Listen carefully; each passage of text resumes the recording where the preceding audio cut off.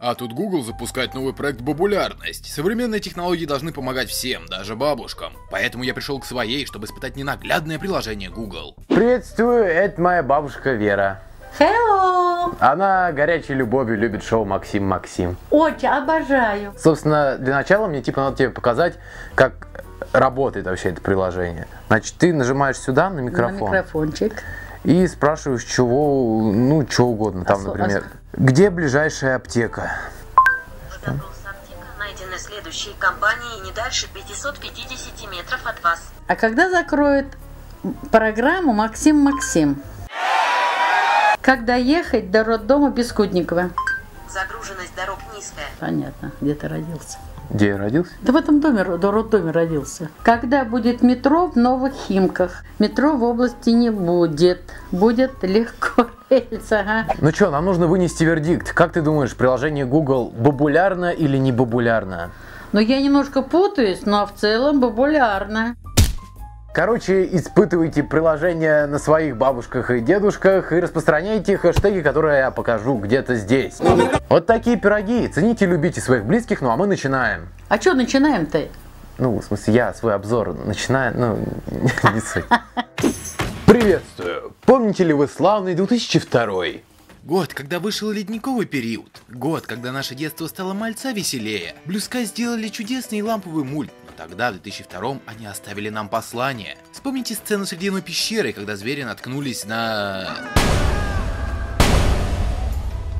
Тогда мы просто хихикнули, но это было начало. Начало конца! Ледниковый период охватили продолжение, игры, короткометражки. С каждой части они были все абсурднее и абсурдней. И все дошло до четвертой части. Очень хилый и скучный, после которой создатели сказали, что квадриквел это финита комедия. Но вот красный дьяволенок 20 века Фокса взял верх, и это вылилось в пятую часть. Что она из себя представляет? Ну, в общем, понятно. И да, это второй мультразнос мультфильма «Ледниковый период столкновения неизбежно». Напоминаю, что это мое мнение, я прав, вы не правы, короче, погнали.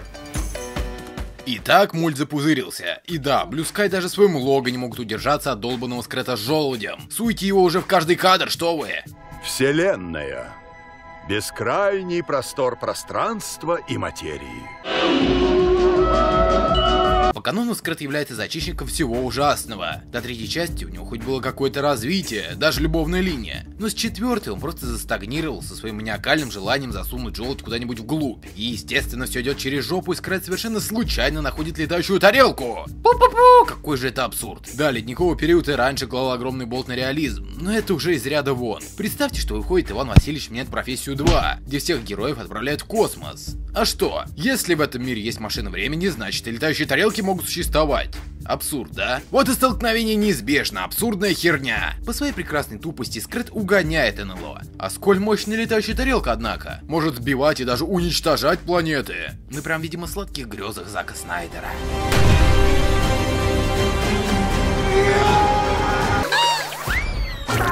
Ох уж эти великолепные звуки.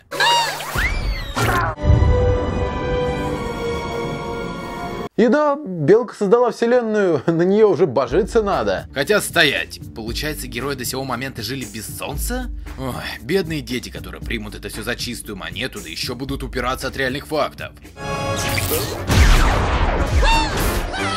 Да успокойтесь вы, хватит, что происходит? Добавьте сразу взрывов, штук 200. Но сценаристы не думают успокаиваться. Даже боюсь предположить, почему на корабле есть костюм, который так идеально сидит на белке. И даже есть костюмчик для желудя. Ох, абсурд, абсурд, абсурд. Короче, все. Желудь в открытом космосе, финита ля комедия.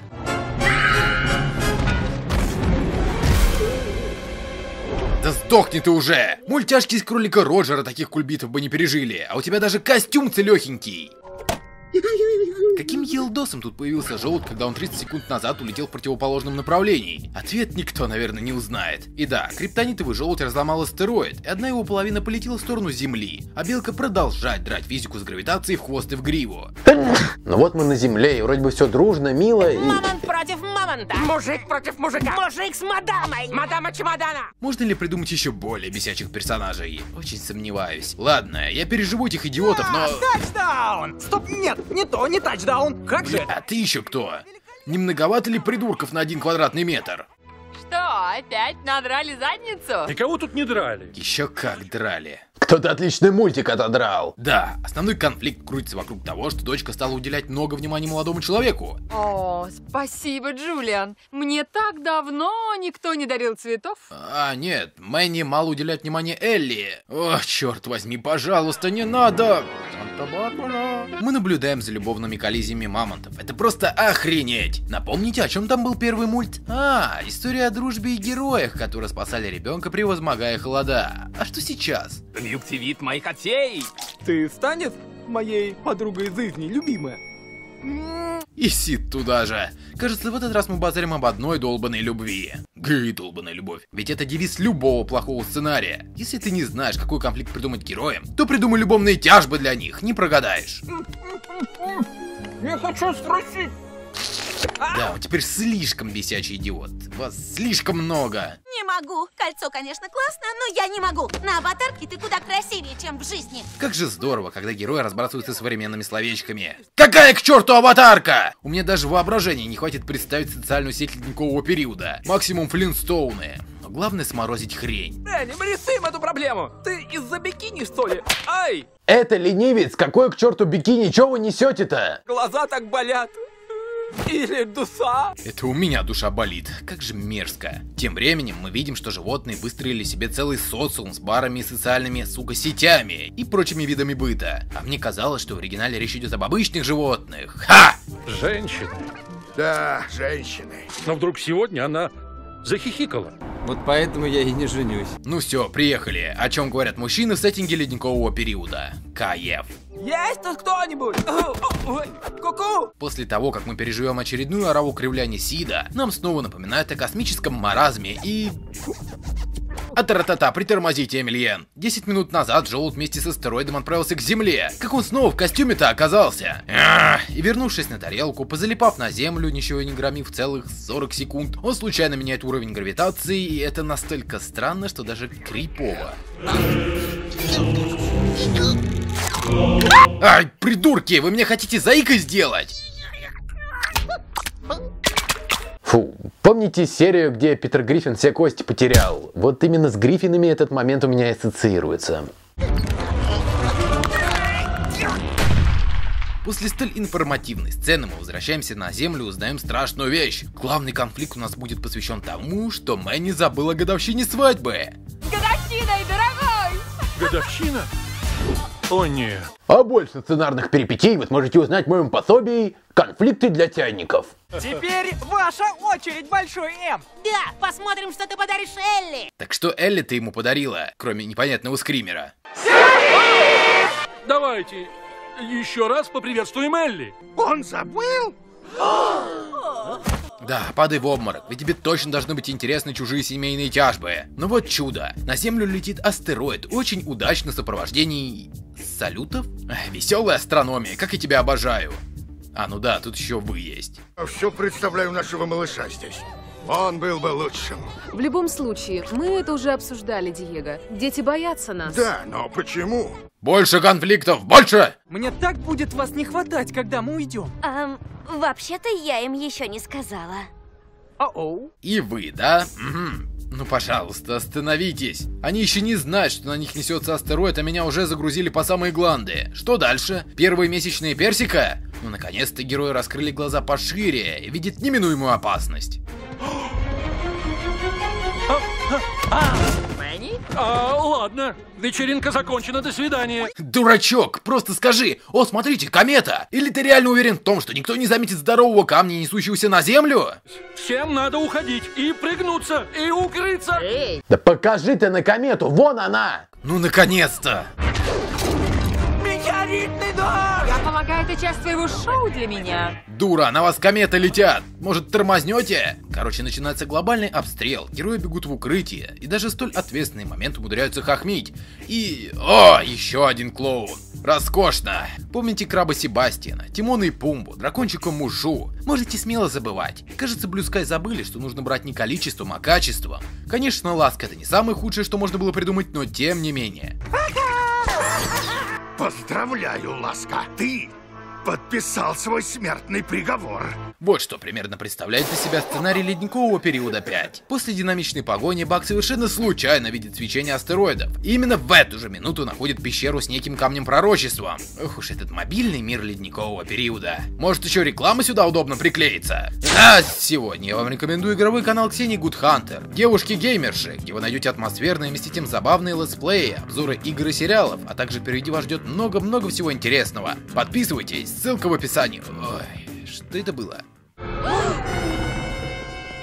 Бак поднимается на волю именно в том месте, где обитают главные герои. Тащит с собой пророчество и говорит, что всем капздец. Бак доносит месседж, что астероид фигачит Землю раз в миллион лет в одно и то же место. Более того, по картинке он определяет, в какое именно. Более того, находится оно неподалеку от героев. Как же все удобно. И вот они собирают... Так, стоять! Если динозавры в свое время спаслись от астероидов под землей, то что помешает и главным героям там спрятаться? М?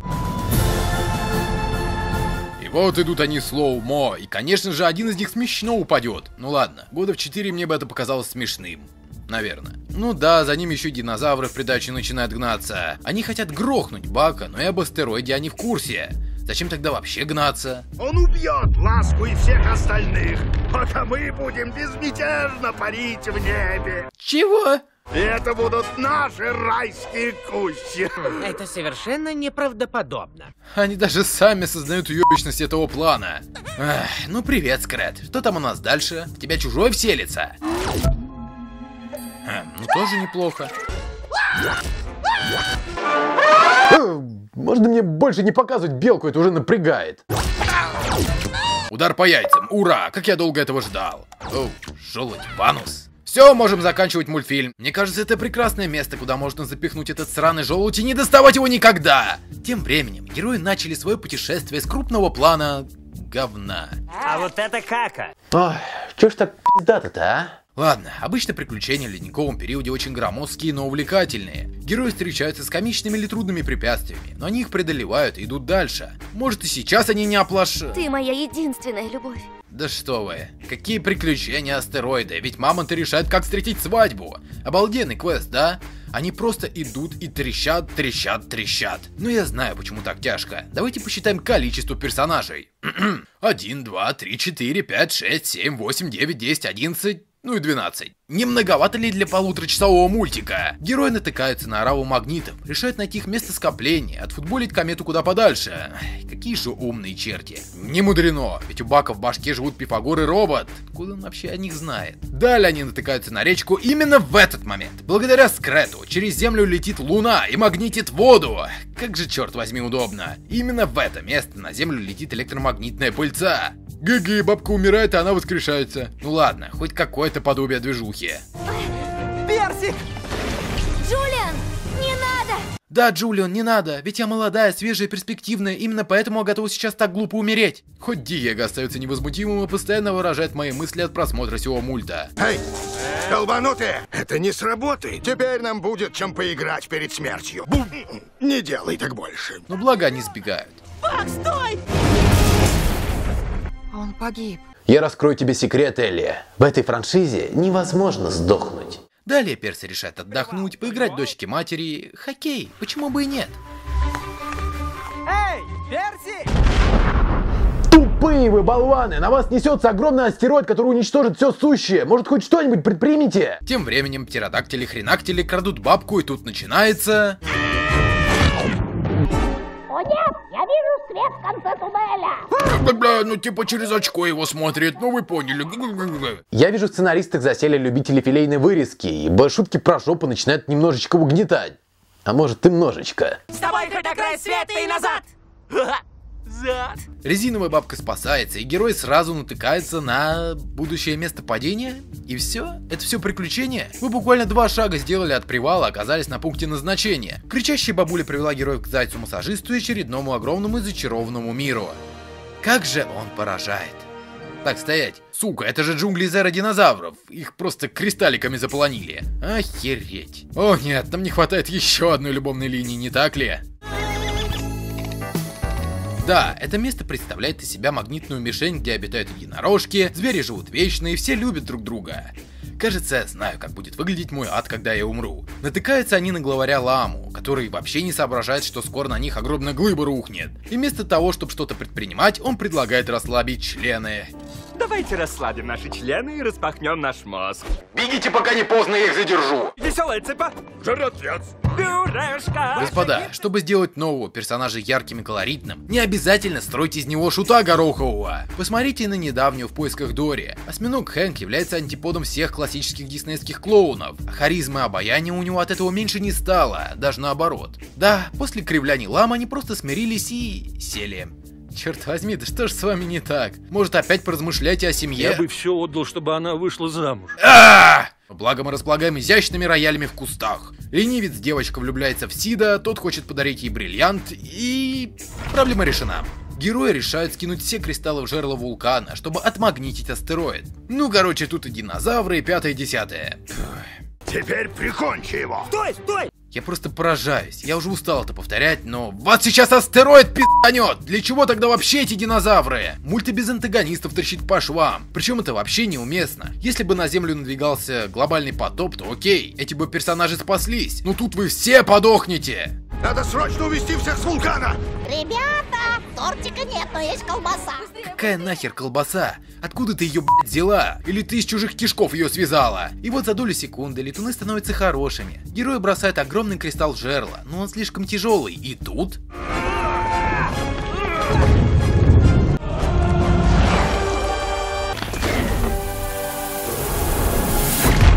У меня, конечно, была хлипкая тройка по физике, но мне кажется, гипотетически это невозможно. И каким-то невероятно фантасмагоричным винтом они спасаются.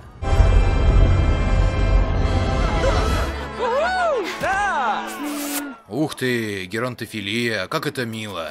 Или мерзко, я еще не определил. Только чё ж вы ей просто сделали седые волосы, когда по факту она должна была выглядеть примерно так? Да, засали. И вот астероид улетел далекие дали. Старички остаются в разрушенной геотопии. Они все прощаются. Печаль. А нет, камешек падает из космоса прямо в воду, и в ту же секунду они все помолодели. Как же круто. Короче, мамонта играет свадьбу. Девочка-ленивец возвращается, которая почему-то за пределами источника также молода. Песни, танцульки. Свадьбу платит отец невесты. Это традиция, которую я только что придумал. Стоп, это куром насмех. Посмотри, сколько ты взял за цветы. Блять, вы в четвертичном периоде. Ну какой к черту счет? У вас же нет денег. Или вы платите желудями? Кстати, о кретинах. Марс. Почему жизнь не смогла удержаться здесь? Куда исчезла вода? Возможно, мы этого не узнаем. Нет-нет-нет, сейчас вы так легко не отшутитесь. Белка только что целую планету уничтожила. Миллионы живых существ моментально превратились в пепел. И все из-за сраной белки. Черт возьми, Скрэт хуже звезды смерти. В один прекрасный день он и на Землю налетит и все спалит к херам. И создателям будет уже не так смешно. Его нужно уничтожить, изрешетить. А в первой части он еще и заморозился на 20 тысяч лет. Белка будет жить вечно. Это был ледниковый... Мульт, ты вообще закончишься?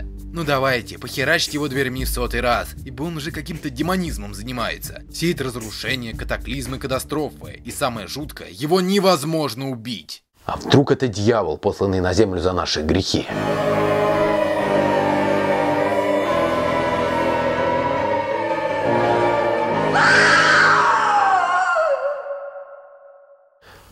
Это было столкновение неизбежно.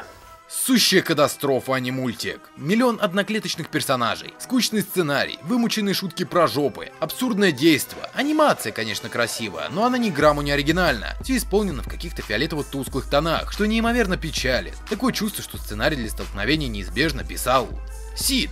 Он такой, ребята, тетя-то вам такой сценарий запузырю. И получилась вот такая же ледимая фигня, которая по сравнению с предыдущими частями собрала катастрофически маленькую сумму. Blue Sky, я пожму вашу благородную руку. Спасибо, что уничтожили мою любимую франшизу. Ух ты. Ну, ладно, спасибо всем за внимание. Вступайте в группу, пальцы вверх и всем пока.